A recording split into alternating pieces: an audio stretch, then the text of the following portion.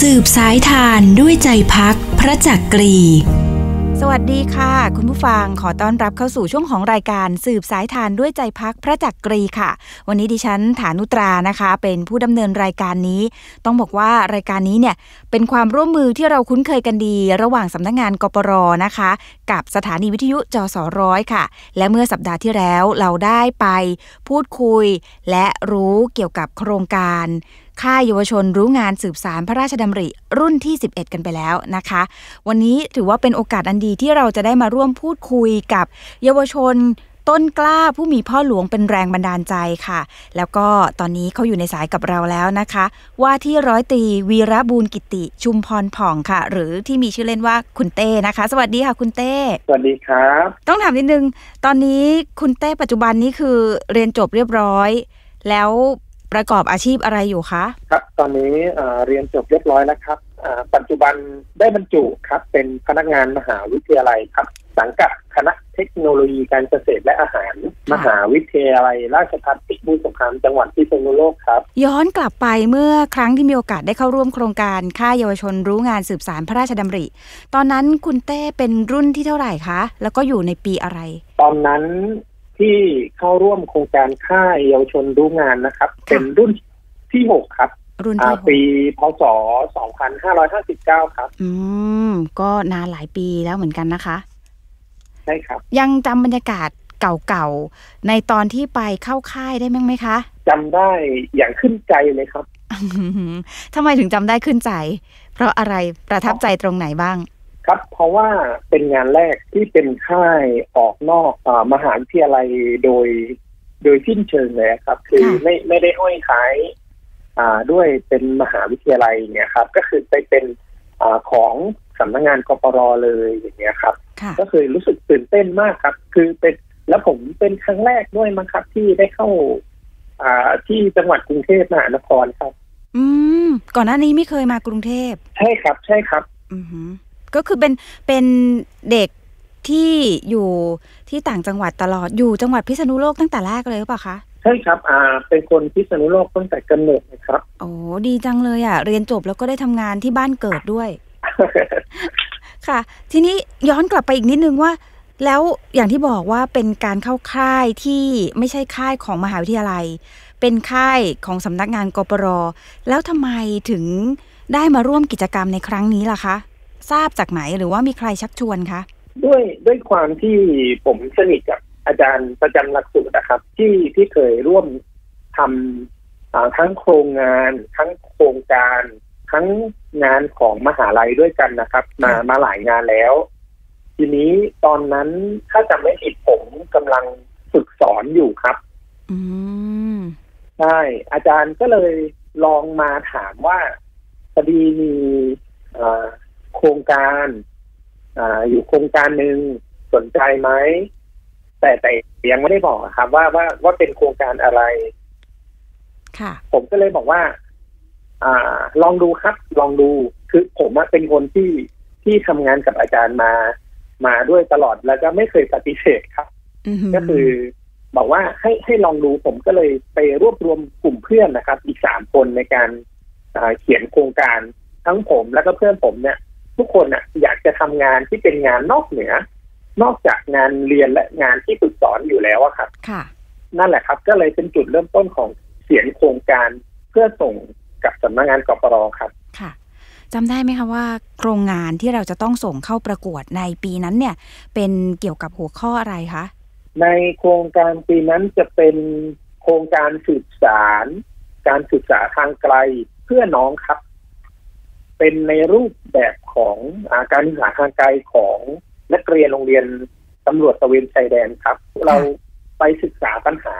ในในในสภาพจริงนะครับ ว่าอ่าตอนเนี้ยการศึกษาทางไกลเมื่อสักปีห้าเก้าที่ผ่านมามันเกิดปัญหาตรงที่ว่า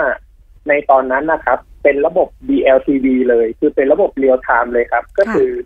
ต้องเรียนผ่านวังไกลกังวลนะครับ อย่างเดียวเลย คือเด็กต้องเรียนตามเวลาที่กำหนดก็หมายหมายถึงว่าถ้าที่ถ้าที่หัวหิน ถ้าที่หัวหินเรียนตอนเที่ยง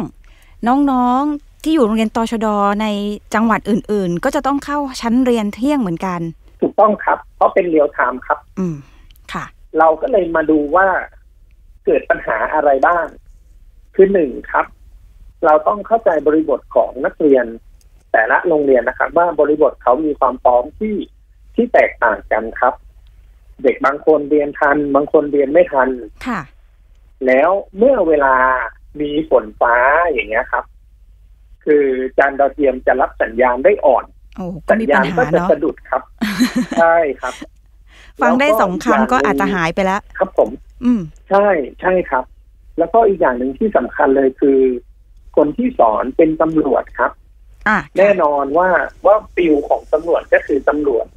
เขาเข้าใจ feel การสอนก็คือในตำราในหนังสือค่ะอย่างเงี้ยครับอ่าอ่านึกก็ภาพเลอยอกว่าเลยถ้าสมมติอ่ามีประเด็นไหนที่ที่เด็กเขาอยากถามหรืออยากที่จะเรียนรู้เพิ่มเติมอย่างเงี้ยครับค่ะคือเด็กก็จะขาดโอกาสตรงนี้ไป อืม อันนี้คือเรื่องโครงงานที่จะต้องส่งเข้าประกวด ในปีที่เราได้เข้าค่ายปีนั้น แล้วตัวเนื้อหาใช่ครับที่ที่คุณเต้ทำประกวดนะคะ ตรงเนี้ย มีการแก้ไขในเรื่องของการเรียนทางไกลยังไงบ้างที่นำเสนอไป ครับของผมทำเป็นตัวเซิร์ฟเวอร์ครับ คือจะนำบทเรียนนะครับของ DLTV ที่ที่เคยถ่ายทอดสดหรือว่า อ่าที่ได้เก็บบรรจุไว้ในรูปแบบของ อ่าตัวเซิร์ฟเวอร์ครับ ค่ะ ก็คือกล่าวคือเราจะมาเรียนหรือย้อนดูตอนไหนก็ได้ครับ อืม ใช่ ก็คือจาก real time เอามาอยู่ในรูปแบบของเซิร์ฟเวอร์ค่ะ แล้วแล้วก็ก็มีตัวกระจายสัญญาณด้วยครับ อืมคือกระจายสัญญาณยังไงก็คือผ่านตัวเราเตอร์ครับ โดยอืมต่อในรูปแบบอินชาเน็ตค่ะเข้าเข้ารหัสของของตัวเซิร์ฟเวอร์ก็คือ ดูผ่าน iPad ได้เลย ดูผ่านมือถือได้เลยอืมอย่างเงี้ยครับค่ะ ถ้าเด็กอยู่บริเวณโรงเรียนหรืออยู่บริเวณชุมชนที่ อ่าสัญญาณของ wireless อะถึงเด็กค่ะก็สามารถเรียนรู้ได้เลยครับอืมไม่ต้องรอเรียนพร้อมกันตาม real time เนาะก็จะสะดวกสำหรับแต่ละใช่ครับพื้นที่ไปอ่าใช่ครับค่ะ อันนี้คือคือตัวโครงงานที่เราส่งไป แล้วพอผลงานเราส่งไปแล้วเราได้ถูกคัดเลือกเข้าร่วมกิจกรรมในค่ายอะค่ะ มีความสนุกสนานขนาดไหนคะภาพแรกเลยครับ คือแบบ คือเราเราต้องแยกออกครับ คือเขาจะแบ่งเป็นสีสีๆเนี่ยครับ ค่ะ เราก็จะไปรู้จักเพื่อนต่างสถาบันอืมอ่า อย่างแรกเลยคือรู้จักเพื่อนต่างสถาบัน ทีนี้อะไรที่ที่ทำให้สนุกคือ เราไม่จำเป็นว่า คือเราแบบว่า คือเราต้องมากระมิดกระเมียนนะครับค่ะอทุกคนไม่รู้ตัวตนของเราอ๋ออันเนี้ยเราจะสนุกได้เต็มที่นี่ใช่ไงใช่ครับ คือไม่ต้องไม่ต้องเขินไม่ต้องอายกันเลยเพราะก่อนหน้านี้เราเป็นใครเขาก็ไม่รู้จักเรามารู้จักกันหน้างานตรงนี้แหละ ถูกต้องครับถูกต้องค่ะ คือมีมีการพูดคุยกันอยู่ตลอดครับ มีค่ะการแลกเปลี่ยนเรียนรู้กันอยู่ตลอดเวลาอืมทั้งการทำกิจกรรมค่ะทั้งการเข้าฐาน แล้วก็อยู่ร่วมกันจนจบค่ายอะครับค่ะเนี่ยแหละครับ คือคือความสนุกที่ที่ผมก็เพิ่งเคยเกิดมา เกิดเกิดจากเกิดจากค่ายนี้เพราะว่าอย่างที่บอกว่าก็เคยแต่ร่วมแต่ค่ายของมหาวิทยาลัยค่ะแต่พอมาค่ายที่ คือเพื่อนมาจากต่างจังหวัดเลย อื มมาจากโซนอีสาน มาค่ะจากใต้มาจากทุกภาคอย่างเงี้ยครับค่ะซึ่งมันได้เรียนรู้อะไรกันได้อีกเยอะแล้วก็มากมายเลยครับ อืม แล้วตอนนั้นได้รู้จักเพื่อนๆ เรียกว่ามาจากทุกสารทิศทั่วประเทศเลย เราได้รับเอ่อเขาเรียกอะไรนะ เหมือนความประทับใจอะไรที่รู้สึกว่ามันจำได้ไม่ลืมเลยคะ ยกตัวอย่างให้ฟังหน่อย ตอนนั้นตอนนั้นผม ผมจะมีปัญหาเรื่องสุขภาพเลยครับ ค่ะ คือคือคือไปไปที่จังหวัดไหนอะคือ ผมก็ต้องไปตรวจที่โรงพยาบาลของของทุกๆจังหวัดนะครับ ว่าว่ามันเกิดจากอะไรอย่างเงี้ยฮะอืมนั่นแหละครับ คือทุกคนน่ะ เป็นห่วงเป็นใยผมมากค่ะ คือไม่ใช่แม้แต่กระทั่งกลุ่มผมนะครับค่ะเป็นสีอื่นอย่างเงี้ยครับอืมเขาก็จะมาถามเขาก็จะมาพูดคุยด้วยว่าเป็นอะไรยังไงอย่างเงี้ยครับ คือต้องนึกภาพนะครับ ว่าเราไม่ได้รู้จักกันมาก่อนค่ะ แต่เพียงแค่สามสี่วันที่อยู่ด้วยกันน่ะมันเกิดความผูกพันอืมทั้งในกลุ่มเรา และเพื่อนต่างสีค่ะต่างกลุ่มต่างมหาวิทยาลัย ที่เราทำกิจกรรมแล้วว่าเขารู้จักเรา แล้วเขาก็ยังเป็นห่วงเป็นใยเราอย่างเงี้ยครับ อืมเรียกได้ว่าคือแม้ว่าเราจะไม่ได้อยู่กลุ่มเดียวกันแต่เห็นหน้ากันตลอด3าสี่วัน มันก็เหมือนกับสนิทไปโดยปริยาย ใช่เลยค่ะ คุณเต้ได้เข้าร่วมโครงการได้ไปดูตามโครงการพระราชดำริต่างๆ ที่ได้ตอนเข้าค่ายเนี่ยค่ะ ต้องถามอย่างนี้ค่ะว่าคุณคุณเต้ได้รับอะไร สิ่งสำคัญที่ได้รับจากการเข้าค่าย RDPB Camp เนี่ย คือเรื่องอะไรคะสิ่งสำคัญเลยที่ที่ตอนนั้นยังยังไม่รู้นะครับว่าว่าว่าสำคัญกับตัวเองหรือเปล่าเนี่ยครับ ก็คือการที่เป็นการลงปฏิบัติจริง ยังไงคะในในกรณีต่างๆ ในชุมชนในฐานการเรียนรู้อย่างเงี้ยครับอืมันมันมันคือการแลกเปลี่ยนที่ที่ที่เราไม่เคยรู้มาก่อนอืมก็คือการที่จะเหมือนว่าวิทยากรจะให้ความรู้กับเราอย่างเงี้ยครับ ค่ะ หรือว่า หรือว่าวิทยากรจะให้ความรู้กับชุมชนหรืออะไรอย่างเงี้ยครับ มันมันไม่ใช่เรื่องง่ายอืม เพราะว่าก็อย่างที่บอกครับว่าศาสตร์แต่ละศาสตร์ที่ที่เรามาทำโครงการเนี่ย มันก็แตกต่างกันค่ะแต่ว่าคือเราจะทำยังไงอะครับ คือให้ลงไปทำงานกับผู้รับเขาเรียกว่าอะไรอะกับผู้รับการอบรมอะครับค่ะให้ให้เราเป็นเขาให้ให้เขาเป็นเราอย่างเงี้ยอ่าอืมให้รู้จักวิถี ให้รู้จักความต้องการการลงมือปฏิบัติอย่างเงี้ยครับอืมคือจะจะไม่มีการในเรื่องของอธิบายเรื่องทฤษฎี มาก ก็คือให้ให้ลงมือปฏิบัติจริงเลยแล้วค่อยมาสอดแทรกทฤษฎีที่หลังอย่างเงี้ยครับ อืมเน้นปฏิบัติใช่ แล้วก็ให้รัใช่บรู้เน้นได้ปด้วยฏิตัวบัติเอจงริงใช่ครับ ใช่ครับ ค่ะค่ะแล้คืวอคือทางค่ายเนี่ยจะเป็นแบบนี้มาตลอดอืมคือจะไม่มีมาพูดแบบอธิบายอะไรอย่างเงี้ยครับไม่เน้นเข้าห้องเรียนนั่งเลคเชอร์นะ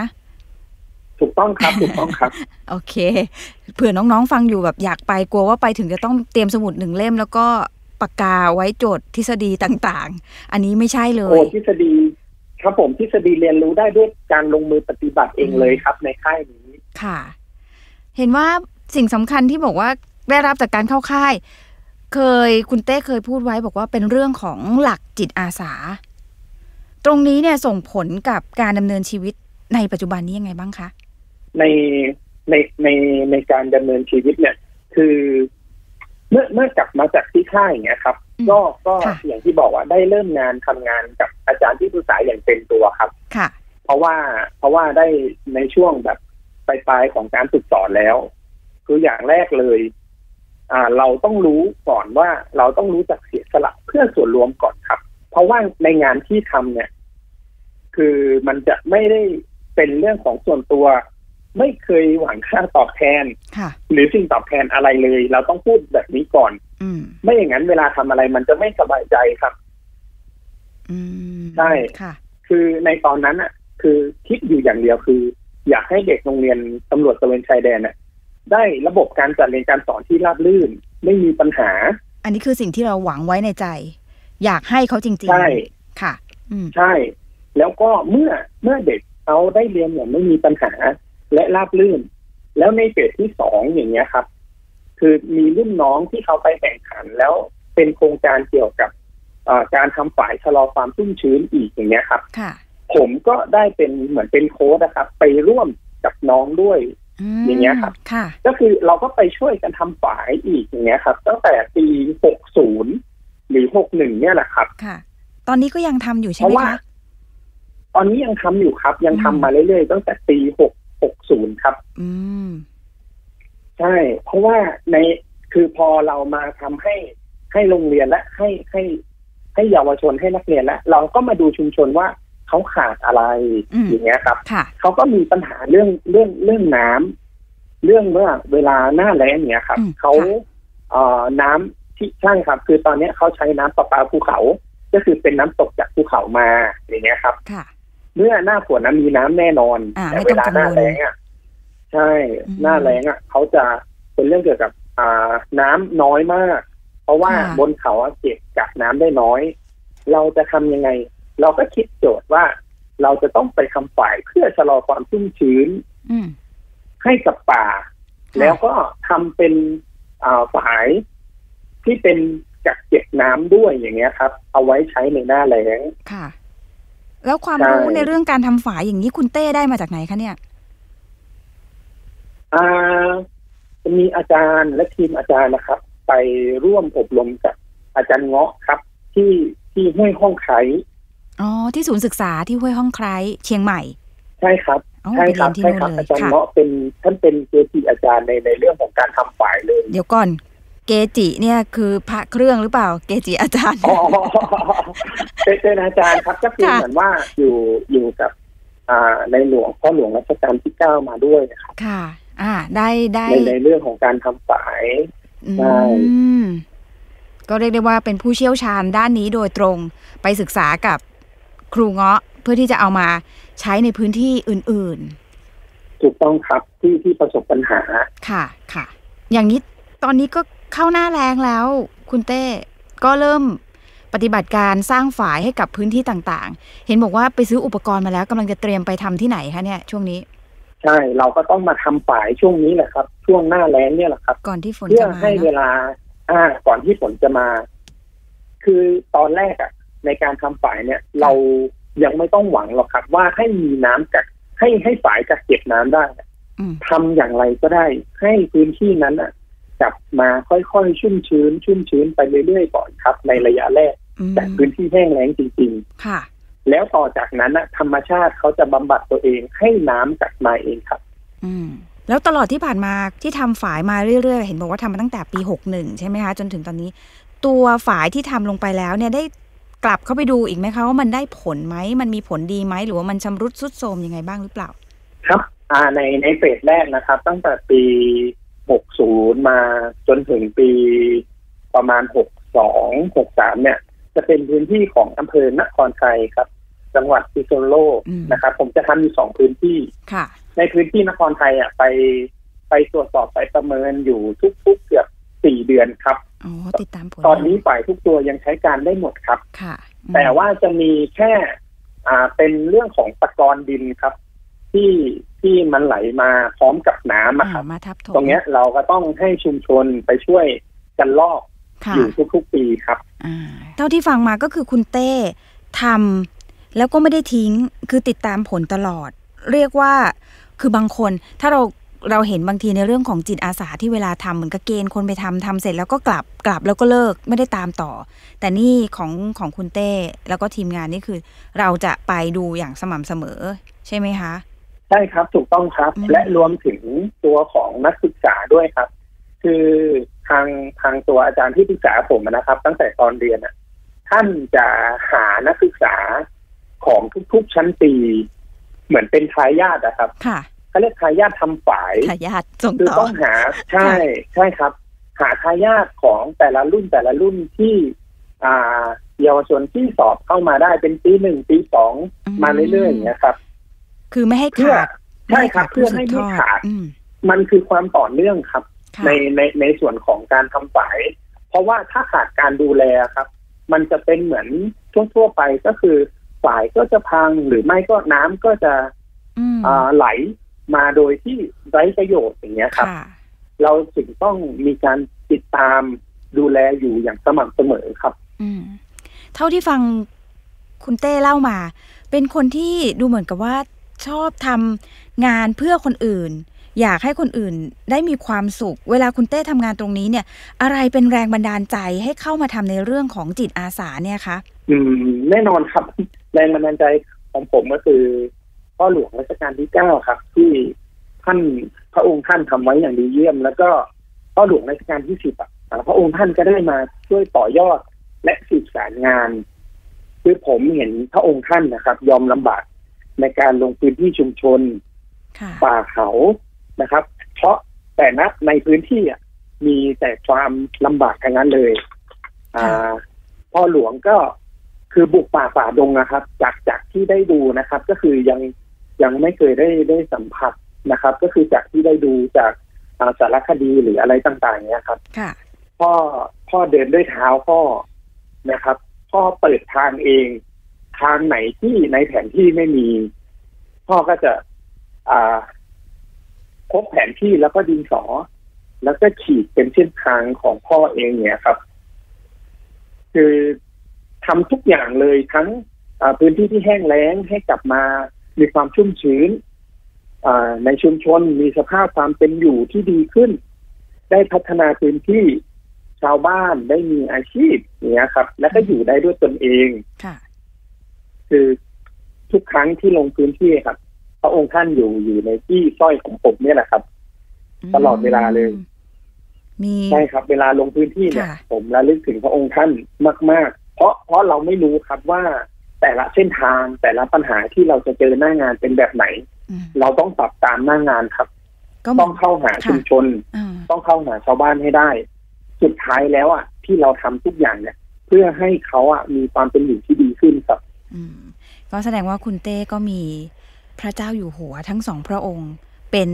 หลักยึดในการทำงานจิตอาสาของคุณเต้ ใช่ครับ ใช่ครับ เป็นหลักยึดหลักในตัวผมเลยครับดีจังฟังแล้วรู้สึกดีนะที่คนรุ่นใหม่ ยังรู้สึกว่าเราจะต้องมีไอดอลหรือหลักยึดอะไรสักอย่าง แล้วก็มีพระองค์ท่านนี่แหละที่เป็นต้นแบบนะคะ ทีนี้ปีนี้คุณเต้ น้องๆที่จะเข้าค่าย RDPB Camp รุ่นที่ 11 เขายังมีเวลาสมัครอยู่ได้ถึงประมาณกลางเดือนนี้ อยากจะให้คุณเต้ชวนน้องๆหน่อยค่ะ ในฐานะที่เคยผ่านการเข้าร่วมโครงการค่ายเยาวชนมาก่อนค่ะ ครับ ผมบอกก่อนเลยว่าค่ายเยาวชนรู้งานศึกษางานพระราชดำริเนี่ย หรือ RDPB Camp เนี่ย ผมบอกเลยว่าเป็นมากกว่าค่ายครับ คือให้ทั้งความรู้ ให้ทั้งประสบการณ์ ให้ทั้งการใช้ชีวิต ได้ลงมือปฏิบัติในพื้นที่จริง โดยน้อมนำแนวพระราชดำริ มาปรับใช้เพื่อการดำเนินชีวิตปัจจุบันของเรา และค่ายเนี้ยผมบอกเลยว่าทุกวันเนี้ยหน้าที่การงานทุกวันเนี้ยครับ ผมมีได้เพราะค่ายนี้จริง ๆ เพราะผลงานตั้งแต่ยุคสมัยที่เป็นนักศึกษาครับ ได้จากค่ายนี้จริง ๆ ครับ ไม่ว่าจะเป็นร่วมในครั้งไหนก็ตาม คือผลงานมาจากค่ายนี้เลย ผมก็เลยบอกได้เลยว่า หน้าที่การงานทุกวันเนี้ยโปรไฟล์ผมมาจากโครงการนี้เลยโปรไฟล์นี้ก็เลยต่อยอดจนมาเป็นงานที่ผมทำในทุกวันนี้ เพราะว่างานทุกวันนี้ก็คือประสบการณ์ตรงครับ ที่ได้จากค่ายของทางสำนักงงานกปรครับ ผมก็เลยอยากชวนชวนให้น้องๆ เยาวชนรุ่นใหม่ ได้เข้ามาเป็นส่วนหนึ่งของโครงการ RDPB Camp ครับค่ะถ้าอย่างนั้นวันนี้ต้องขอบคุณคุณเต้นะคะ หรือว่าที่ร้อยตีวีรบูลกิติชุมพรผ่องนะคะ ที่มาร่วมพูดคุย แล้วก็เล่าประสบการณ์ในชีวิตให้กับน้องๆฟังเผื่อน้องๆที่ฟังอยู่สนใจอยากจะเข้าร่วมโครงการก็ยังสมัครได้จนถึงวันที่ 15 มีนาคมนะคะ ต้องขอบคุณนะคะ คุณเต้วันนี้ ครับ ยินดีครับ ยินดีครับ ขอบคุณมากเลยครับสวัสดีค่ะครับสวัสดีครับ เป็นยังไงคะ วันนี้ได้พูดคุยกับเยาวชนของเรานะคะ ซึ่งตอนนี้ก็ถือว่าเป็นอีกผู้หนึ่งที่ประสบความสำเร็จในชีวิตนะ เขายืนยันด้วยตัวเองเลยว่า เขามีทุกวันนี้ได้ เพราะว่ามีโอกาสได้เข้าร่วมโครงการค่ายเยาวชนรู้งานสืบสารพระราชดำรินะคะ ก็เป็นส่วนที่ส่งเสริมให้มีการทำงานในหน้าที่ที่ดีขึ้นนะคะ ก็อยากชวนนะคะ นิสิตนักศึกษาที่อยู่ในระดับอุดมศึกษาหรือเทียบเท่าเนี่ยระหว่างอายุ 18 ถึง 25 ปี ยังสมัครกันได้อยู่นะคะ ติดต่อไปได้เลยที่สำนักงานกปรหรือว่าเข้าไปดูในเพจของสำนักงานกปรได้เลยค่ะ และในวันนี้นะคะ ดิฉันฐานุตราก็คงจะต้องลาคุณผู้ฟังไปก่อน พบกันใหม่พฤหัสหน้าเวลา 13 นาฬิกาเป็นต้นไป ส่วนท่านที่ต้องการฟังรายการย้อนหลังก็เข้าไปได้ที่ Facebook Fanpage JS100 นะคะ หรือติดตามจาก YouTube Channel ของ JS100 ได้เช่นกันค่ะ ติดตามรายการสืบสายทานด้วยใจพักพระจักรีได้ใหม่ครั้งหน้า วันพฤหัสนะคะ วันนี้สวัสดีค่ะสำนักงงานกปรร่วมสืบสารงานพระราชดำริ